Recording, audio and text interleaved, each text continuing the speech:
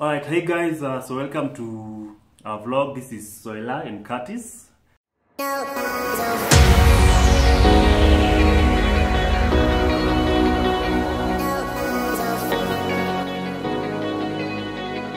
Uh, if you are new, karibu sana, you can subscribe. Uh, we try to give you guys very tasty content every every once in a while. Yeah, so we've been doing a series. It's called How to Pull Off the Perfect Wedding, and uh, it's a five or six part series. We are yet to decide how we are going to schedule it.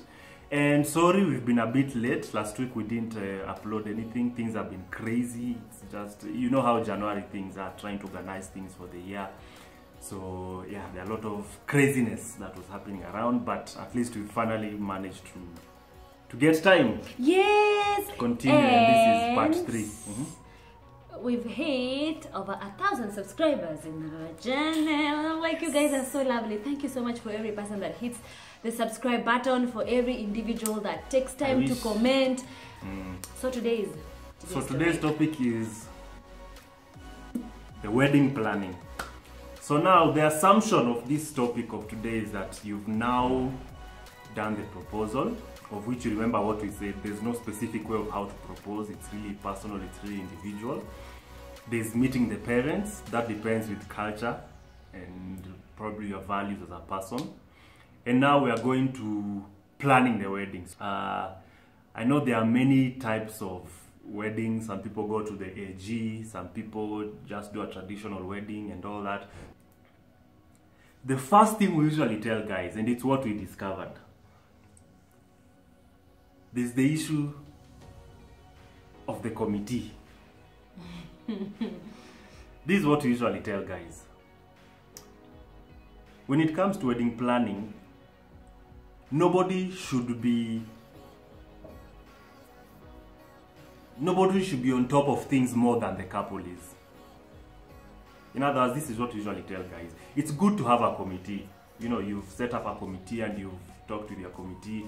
You've given guys duties. They've said, okay, I'll sort. Sorry, I'll sort this part out. I'll sort this part out. I'll buy for you. I'll follow up on this, which is okay.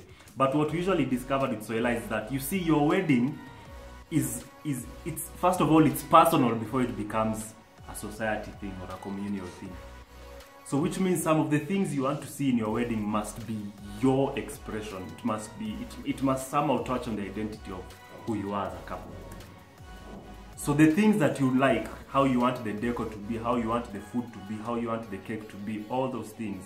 I think as a couple, it it needs to be first your responsibility before you give it to the mm. to the committee guys. Mm. Which means that you first have to go see these people on your own like the service meet the, providers. ca- yeah meet the caterer as a couple tell them this is what you want meet the service the the, the, the deco tell her or him this is how you want it done meet the cake person all those things you want in your wedding tell them how you want it done and then once you've agreed with them now you can delegate the things to, to the committee because the tricky part is this you might give your best friend or somebody in the committee a task to go sort this particular issue out or this particular issue out but the risk in that is that they'll probably look for something that suits their preference. You understand? It may not be bad, but it's not really what you wanted. And that's usually the risk. So you decide what you want, identify how you want it done, and then now look for guys to follow it up on that as you handle other things. you have to start early when it comes to wedding planning, identifying caterers, identifying uh, uh, deco person, identifying toilet providers.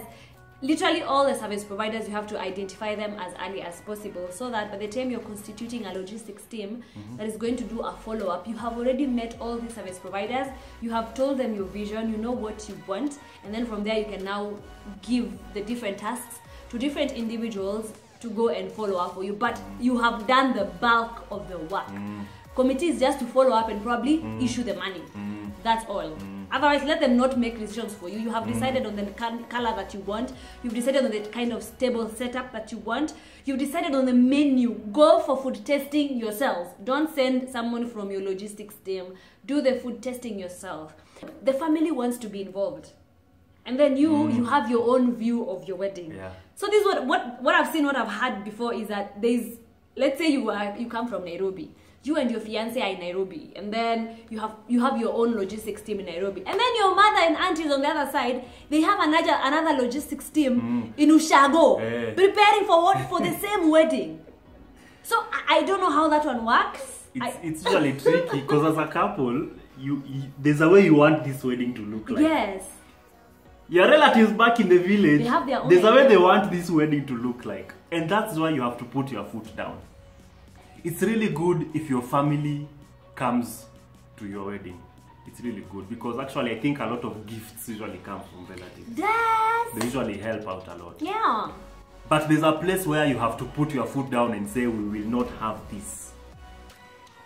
We will not have this and that. Because one thing, and I think we'll discuss this when you're now talking about the wedding day itself and the mm. things that happen. Mm. There are a lot of people whose weddings became disappointing because family took over. Or because you just want to impress the family members to and you forget about family. what you Yes. want as a couple. Yes. And it might bring wrangles between yourselves. Because you, let's say, as a lady, you want purple and white. And then your family members are like, aye, purple and white, apana. Let's say your auntie or whoever who's like speaking on behalf of your family members, they're like, I think this and this would work. Ama, you, you want Chiavari chairs. And then, then they're like, that's too expensive, use plastic chairs. You see, you're literally. Uh, you, you have a vision. You, you have, you have of- goals. Yes, you're literally giving away so much so that you can impress what your family members are. The wedding planning process is a hmm, it's a sensitive process. You either are going to be strong as individuals or you're going to be separated. You tell me, harusi ni nani? Is it a girl's thingy or is it a man's thingy? Who should thingy? Ah. I know we've heard of, uh, you know, Like there are men who like the- literally just say, "Hey, like you, you'll just tell me, Soila, this is our wedding. I don't know what we need to have. I don't know what what flowers are what flowers. I don't know colors. You decide for us." there's this concept yeah what you're saying i know the it's something that has been there where men just decide ah the wedding is the ladies Yeah, niambie so let me go sort out other things let me look for money the lady will sort out Yeah. I personally think that's hogwash because this chick is not going to stand there at the altar saying vows to herself she's going to stand there with her husband so it's a joint venture at the end of the day it's it's the wedding is expressing the personality and the identity of the couple not Yeah. not one person in the couple it's supposed to be you know So it's just Now- an invitation for men Mm. to come and also participate in the wedding planning yeah. process. even if it's it, you don't have to be all up in in in in, Yeah, there's some nitty gritty that yeah, yeah, just you some really small, don't know small about. things here and yeah. there. And then now the really important thing, and this one we must talk about. Can you tell them the truth? Mm. We are we are here. That's why I didn't even like. Can you tell the- can you tell listen, guys listen, truth? listen, Hmm? honey. That's why I didn't even have like makeup on. I'm literally barefaced because we are going to be bare with you regarding wedding planning. Eh, that's a nice excuse, eh? that, that was nothing to do with her makeup. She was just. Keep quiet. No, it's true. She was busy hakuwa na time. Money. Now, a wedding that didn't cost so much, probably it cost like 50k or 100,000. And a wedding that cost 10, 10, 10 million. So you have a 50k wedding here and a 10 million wedding here. Do you know which wedding is blessed more than the other? Truth. Tell the truth. Why are you so dramatic? Guess, guess. Which wedding is actually blessed? Both weddings are blessed. Which wedding is blessed more than the other? The 10 million one or the 50,000 one? Both weddings are blessed. Hallelujah. You think she's right? yeah. That's why you married me. Okay, she's right. I'm just trying to put drama. But that's the thing. I think we put so much pressure on having an expensive wedding. And guys, you know, expensive weddings mean What weddings? expensive. expensive weddings mean nothing. Oh, really, Curtis? No, it's like. No, there's a specific context Okay. I'm, I'm speaking Lay about. your context. Let me lay the context. Yeah, so that you don't like. I usually tell people operate within the realm of your grace. If God has graced you to pull a oh wedding, Oh of 50,000, pull that wedding the best way you can. Yeah. If God has graced you to pull a wedding of 1M, 2M, 5M, pull that wedding the best way you can. If there is no grace, don't die. Don't break the banks. I, I, I'm sure most of us knew saw the, the news about the, the couple that did a wedding for a hundred. Hundred ah, bob wedding. I love it. It has got nothing to do with how magnanimous, the size or the the the, the magnan, magnanimity. Okay, the glamour of your wedding has got nothing to do with the success of your marriage, and I think that's one thing we need to put across clear. Sometimes we we, we pursue big weddings as though it's a guarantee that our marriage will survive, mm. which is not true. Mm. So the money bit is really something to consider. You don't have to have 500 guests. Now, if you want to have 500 guests and you have the grace to pull that off without pressure, without robbing the banks, without doing something, without taking a loan, go for it. So I usually tell people there's no in terms of in terms of expenses and in terms of finances and expenditure, there's no better wedding than the other. It really depends on you as an individual. You know, it depends with your vision. Mm-hmm. It depends with your purpose. Why are you doing this big wedding? Are you trying to prove a point to people? Are you trying to show off? Mm. Or are you just doing it because it's your style and you can afford it? So that's really personal. And I think it comes from a place of you want to compare your wedding to your friend's wedding, Mhm. or you want to pull off a better wedding than someone else's wedding, Mhm. and we forget that where you're supposed to be coming from is what the both of you want. Mm. So let's say if as a woman, they mo- the, most of them say that the money comes planning the wedding itself. The money is supposed to come from the man's side. Mm. So as a woman, you have seen an individual who has done a fantastic wedding, one of your friends, one of your relatives, and you want just to like be on top of that. You put so much pressure on the guy or the guy's family to be able to provide for a magnanimous wedding, a big wedding, whatever mm. glamorous wedding, that you know is like literally out of your budget. And when we're talking about wedding planning, you work from reverse. You have a budget.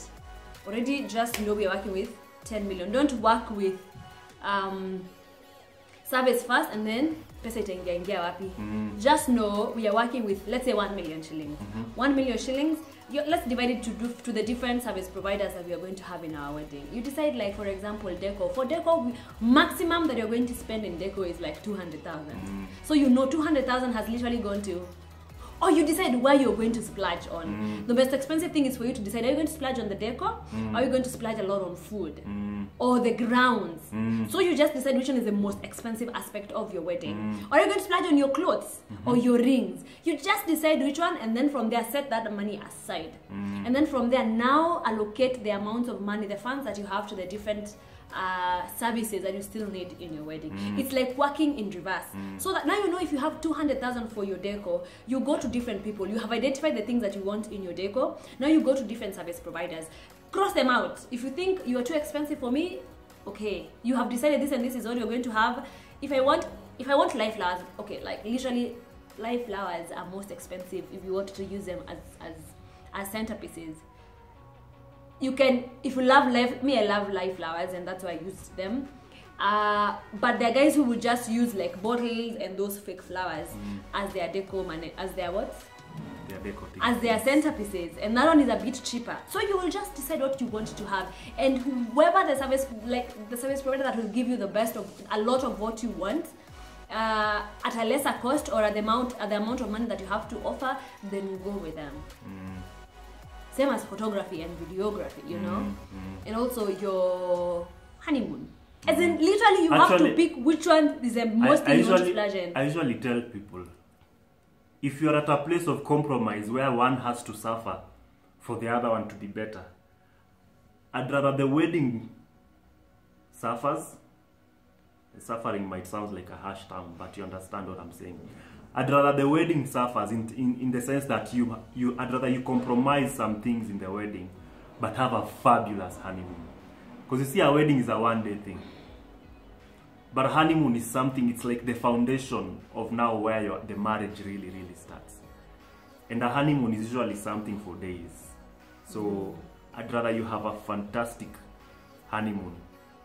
Pay attention to the nitty gritty of the planning. Because there are certain things people overlook. It might look like a small thing, but on the wedding it will blow up to be something so huge. So pay attention to such things like that. The the deco, the minute details that appear inconsequential. Pay attention to that. In our wedding, we we came into the the altar with uh, horses. I came in riding on a horse. Soila was supposed to come in riding on a horse. We had even gone for horse training, nini nini. Ah, we were ready. Yeah. Now the problem is the horse guys, because horses are very funny creatures. They get moody over weird things. They can get moody over the color of your dress, over some smell, or actually people usually say horses are like babies. They are, it's like there's a spiritual thing to them. Ukiwa na roho mbaya, when you have a when you have a heart that is not really good, it can pick up on that and actually start acting out. So when you're dealing with horses, you have to understand that they are really sensitive creatures. So the horse that Soila was supposed to ride on, the horse guys didn't give. There's usually a Corn. corn, a corn that a horse usually put on the eyes so that it doesn't see the things here on the on the sides. They didn't put that, and Soila's dress was dazzling white, and it was ivory, but with the, it's like it has it had like, sparkles yeah. of, of silver. So it's like the moment the horse just saw that, it started. We'll put the video no, there. no, we'll no, the no, no, there. you're not getting on me. No, no, no, no, no. So it refused. It was it was drama, and me, I was not ready to to go home with our wife. Let me tell you guys. it was the just guy, broken bones on the wedding day. nikatoka kwa gari nikapanda juu ya horse anaitwa jeda jeda alikuwa poa sana during rehearsals kwa sababu nimeenda na yeye mara mbili. Kwanza vile nilishuka tu kwa gari ikaniona ikatake like five steps behind. Alafu ikaamua ah, ah, hapa we are not doing this. And then it was looking at me na hii side ya macho kwa sababu nimekuja na hii side ya nyuma. Hey Dada. Hakindio simu yangu Hii kunibeba. Itabeba inabebanga hapa. Haya. Inaogopa nguo yangu ya white. Inabeba so nilipoget on top of it ikaanza kushake. So i could feel it shaking on my thigh area. Kasema we we we we we we. Hapa sio lazima niende nayo acha tu nishuke. So my mother is like hapana soila just relax. Lazima hata ukirelax pia hiyo ita relax. Ikatulia kiasi tukaambiwa saa twende kujaribu kuteremka downstairs ikakataa kwenda. Kataa kabisa kwenda. Akasema ai okay. Sawa sawa let's try another route.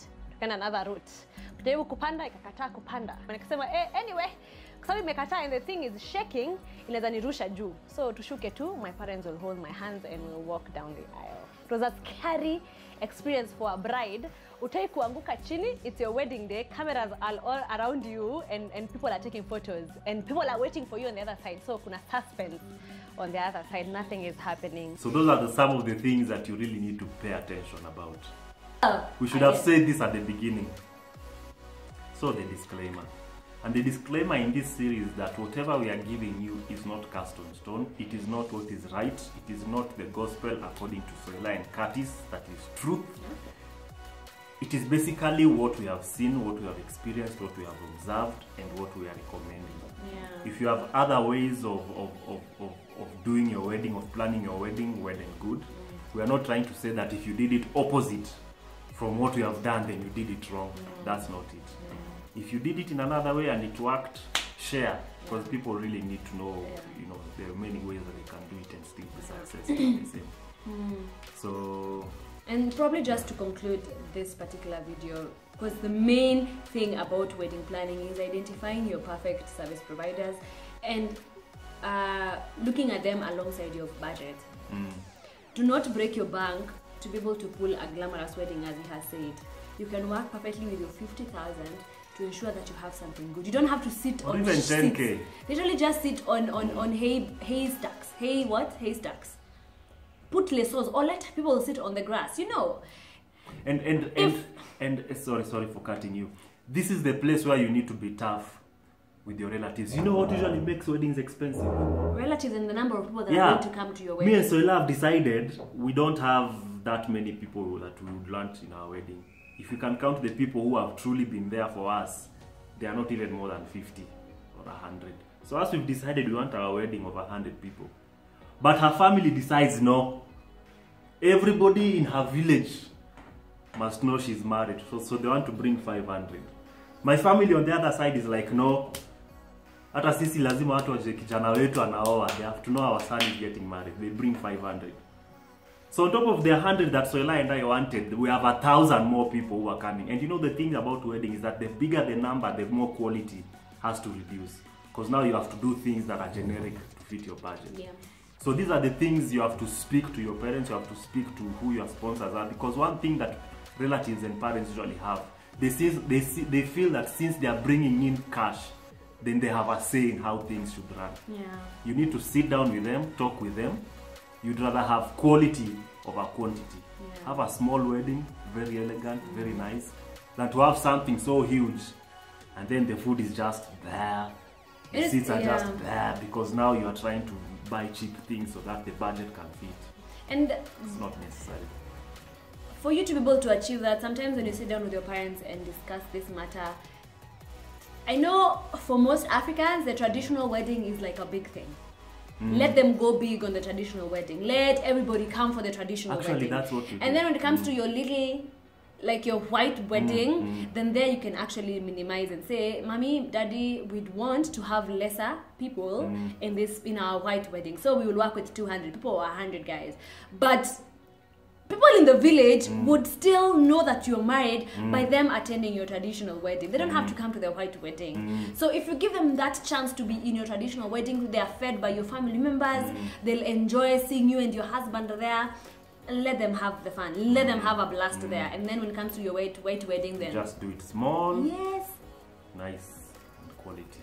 I know we've, uh, there's no particular order because we don't want to write things on the paper. There's no particular order on how we put up different points. Just identify them, pick something that you think will work with you, and run with it. You know, yeah. And um, I think we'll have to end this video because it is already long enough.